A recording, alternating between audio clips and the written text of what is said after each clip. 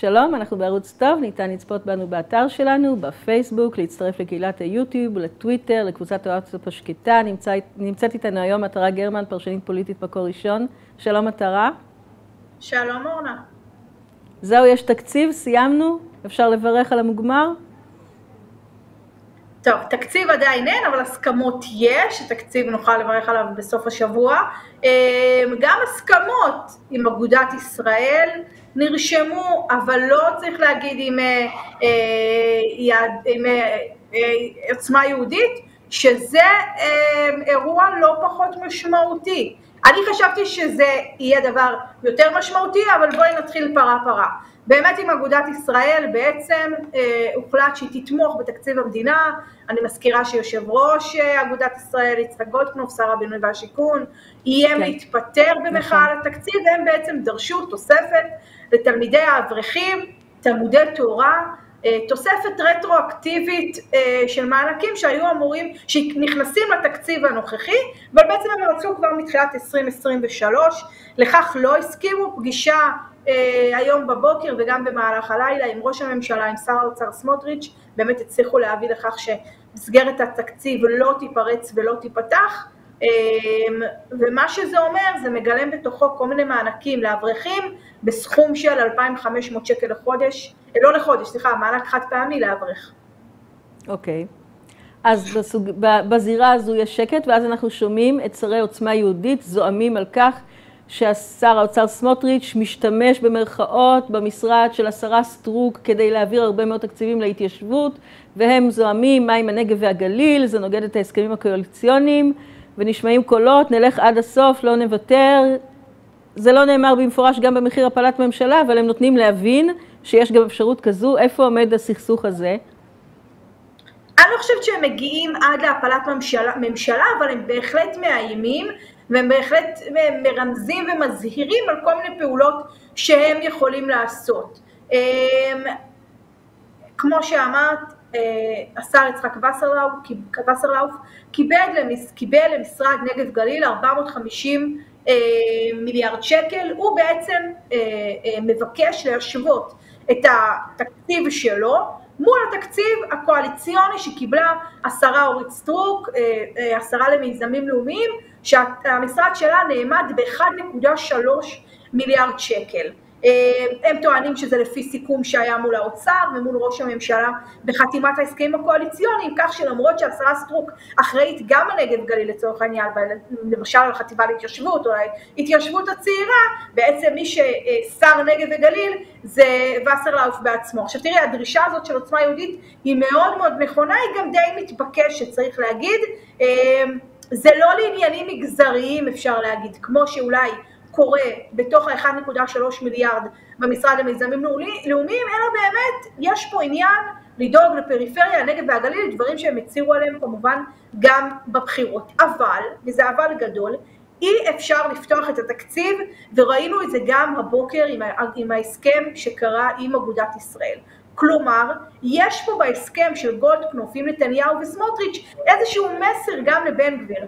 אתה רוצה לקבל את התוספות האלו, את התוספות התקציביות האלו למשרד שלך, תצטרך אה, אה, להתארגן בתוך הכספים הקואליציוניים הקיימים או בתוך התקציב, אה, בסיס התקציב מה שנקרא.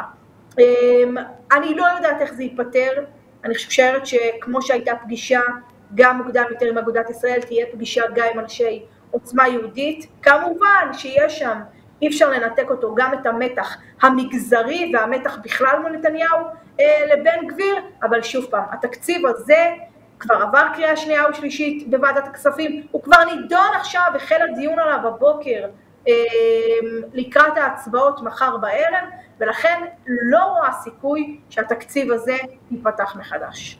מחר בערב, בשמונה נדמה לי, להתחיל, אמורה להתחיל סדרה ארוכה מאוד של הצבעות. מה, יש תקווה כמוסה שמישהו יטעה איפשהו בהצבעה, ואז תהיה דרמה ואולי יקרו דברים אחרים, או שיש משמעת מאוד קפדנית ודברים כאלה לא יקרו, לטעמך, לדעתי. אז אם את שואלת את האופוזיציה, אז כמובן שהתקווה הסמויה הזאת נמצאת שם, היא גם לא כל כך סמויה, צריך להגיד. Okay. אוקיי. אמ, מזכירה ששנה שעברה אמילי מואטי, טעתה באחת נכון. ההצבעות, זה היה ברוב על חודו של קול, עצרו את המליאה, עצרו את ההצבעות ובעצם ירדו להמשך הדיונים בוועדה, כל דבר כזה לוקח זמן. פה הקואליציה הזאת נהנית מרוב של שמונה חברי כנסת, ולכן יש לה פה הרבה הרבה יותר מרחב אה, לעומת האופוזיציה, ולכן גם אם הם יכולים לקחת בחשבון אנשים לא שהתנגדו לתקציב, אבל למשל אם מנעו בו, אז כן, יכולה להיות פה איזושהי באמת, אה, זה יכול להיות איזשהו עניין קואליציוני, אבל לא דבר שישליך על, אה, על התקציב, הוא יעבור גם אם לא ברוב של 64 מנדטים. Okay. אוקיי. אני רוצה רגע לגעת בנקודת הרפורמה. אני כבר לא יודעת להספיד או לא להספיד, אני רואה שגם השיחות, שיחות ההידברות האמיתיות או המזויפות, כאלה שכולם מבינים שזו בדיחה או לא, זו גם שאלה, לא מתקיימות השבוע, כי יש שבר או כי יש חג או כי יש תקציב? מה באמת עומד בבסיס של ההחלטה הזו לא לקיים בכלל שיחות השבוע? אני חושבת שזה גם וגם, זאת אומרת גם אילוצי הזמן וחג השבועות אה, שיבוא עלינו לטובה, אבל יש פה גם מידה רבה של אה, כמובן של ענייני, אה, ענייני אולי אפשר להגיד שהשיחות האלו הגיעו לאיזשהו שיא, שבהם צריך להחליט האם ממשיכים באמת עם אותו סיכום שיצא בשבוע שעבר, שזה תמיכה של האופוזיציה, או לפחות תמיכה שבעל פה, או תמיכה מאחורי הקלעים נקרא לזה, של הקואליציה, להעביר את ביטול עילת הסבירות וחוק היועמ"שים, בתמורה כן. לכך שהקואליציה לא תמשיך לקדם את אה, חוק אה, אה, שינוי אה, בבחירת אה, אה, הוועדה למינוי שופטים. כל הדבר הזה בעצם בינתיים לא על הפרק, זאת אומרת גם אה, יש עתיד וגם המחנה הממלכתי הודיעו שבלי אה, שינוי הרכב הוועדה לבחירת שופטים לא, יהיה, אה, לא תהיה החבילה כולה מה שנקרא. אז השאלה היא באמת האם יש פה פשרה או אה, אה, את, את, את, אותה הצעה, מה שמדברים עליה ודיברו עליה בבית, בבית הנשיא וכבר מחליפים טיוטות בצוות מצומצם ובשביל זה לא צריך שיחות בבית הנשיא מספיק אה, טלפונים, כל אחד יודע מה המספר של השני, או באמת שממשיכים לדון על הרכב הוועדה לבחירת שופטים, ואז אה, אה, יכול להיות שהאופוזיציה בעצם מפסידה בכך את העיכוב של אה, החקיקה, כי הקואליציה תחליט, תראה, שאם אין הסכמות בבית הנשיא, אז היא מחליטה אה, לחוקק אה, על דעת עצמה עם הסכמות ופשרות שהיא תגיע בינה לבין עצמה. היו רמיזות מצד לוין, אם זה לא באמת קורה, מה אני בכלל עושה כאן? אפשר לנסח את זה ככה במשפט. רוטמן מנגד אומר, אין דבר כזה ששום דבר מהסעיפים לא יעברו, גם אם לא תהיה הסכמה, אנחנו נמשיך. אומרים מנגד אנשי אופוזיציה, כל השיחות שם לא באמת רציניות, הכל נמרח ונמשך, אין בעצם הסכמה על שום דבר. איפה האמת עומדת בין כל הגישות האלה? תראי, יריב לוין קרוב מאוד לראש הממשלה, הוא מספר אחת בפריימריז בליכוד. אני לא רואה סיטואציה שבה הוא מפיל את הממשלה שהוא הקים. כן, okay. אוקיי. אמ, אני חושבת שדעתו ועמדתו ברורה, שאין יותר מדי אה, מהשיחות בבית הנשיא, לא יצא מזה יותר מדי, הוא מאוד מאוד רוצה לחוקק את הרפורמה, ולכן הוא גם הסכים לעצירת החקיקה ולהקפאתה עד שיצליחו להגיע לאיזה שהן הסכמות כדי שלפחות יקרה משהו. אני חושבת שבדעה הזאת שמחה רוטמן ויריב לוין נמצאים תחת קורת אה, גג אחת, זאת אומרת הם היו שמחים אם זה היה קורה עם הסכמת האופוזיציה, אבל אם זה יקרה בלי, בלעדיהם, אז יחוקקו את, ה, את הרפורמה, לפחות את חוק היועמ"שים, שמאוד מאוד חשוב ליריב לוין. אגב, אפילו אני לא רוצה להגיד יותר מבחירת הוועדה אה, למינוי שופטים, אבל יש בזה אה, הליך עיקרי okay. אוקיי. שמאוד מאוד משמעותי לו, לא סתם זה היה הנאום הראשון שלו בוועדת חוקה כשהוא בא לדבר על הרפורמה, אותו נאום הציצים אה, הזכור, ולכן אני רואה, אני רואה אותם פשוט מחכים למוצא הפיו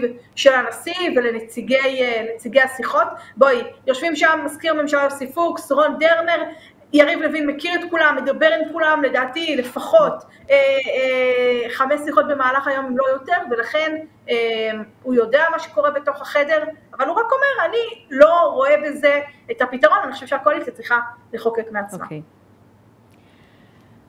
אנחנו הולכים לקראת מושב שעניינו יהיה בעצם דחיקה של הנושא הזה הצידה ונושאים אחרים יעמדו על הפרק. מה קורה אחרי שמסתיים המתח הזה של התקציב, מסתיימות ההצבעות, לאן אנחנו הולכים במושב הזה? כי אולי נדמה לי שיכול להיות שנתניהו לא ממהר שזה יסתיים, מבחינתו שתימשכנה אותן שיחות הידברות, כי יש איזה שקט שהוא נוח, אני טועה, אני לא יודעת, תכף תאמרי. מה הלאה? כן, אז כל העיניים היו נשואות עד עכשיו לתקציב, אה, הוא היה אמור לעבור שבוע הבא, הקדימו אותו בכוונה כדי באמת לא לגלות כל מיני טריקים ושטיקים של כל מיני חברי כנסת okay. אוקיי. ברגע האחרון. אבל ברגע שהתקציב עבר, אז אפשר, העיניים אה, נשואות לעניינים הבאים, חד משמעית זה יהיה השיחות בבית הנשיא, נשמע את זה גם בתקשורת, נשמע את זה גם מחברי הכנסת, נשמע את זה גם מהנציגים בבית הנשיא, ניסיונות okay. של נתניהו, וזה די ברור. כמו שאת אמרת, שהוא רוצה לדחות את זה לפחות עד לכנס החורף. יהיו מרכיב מאוד מאוד משמעותי פה, ואז אם יגיעו שוב פעם להסכמות בתוך בית הנשיא על הסכם פשרה כזה או אחר שדיברנו עליו מקודם, אז תפאדל, אז כולם ישמחו. אם לא יגיעו, אם לא יגיעו לתוצאות, אז יצטרכו הקואליציה לחשוב בינה לבין עצמה עם רצון של שמחה רוטמן ושל בן גביר ושל סמוטריץ' ושל יריב לוין, לנסות להבין איך אנחנו מחוקקים, מה אנחנו מחוקקים, אה, באיזה קצב, באיזה זמן. תראי, לכולם כולם, כולם בקואליציה הזאת, מנתניהו ועד מספר 40, נכוו כן. מה, אה, מה, מקידום הרפורמה הזאת, ולכן אני חושבת שיהיו פה דברים הרבה יותר מדודים, ואם זה יחזיר את המחאה או לא יחזיר את המחאה, אני לא יודעת, אה, בינתיים אה, נראה שהיא דועכת.